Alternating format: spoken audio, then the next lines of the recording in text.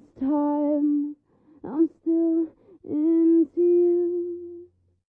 I should be over all the butterflies, but I'm into you. I'm into you. Brooke, I am ashamed. But she's right. If you don't wear your retainers, your teeth move, and when you go back in, it's gonna hurt. Lucky for her, she didn't wait too long and she could actually get them in, making her teeth move back to where they started. Problem is, if you don't wear your retainers for too long, then your teeth, well, won't fit in the retainers, and then your only option is to get braces back on to move them. So even if you're weirdly into pain like this, wear your retainers.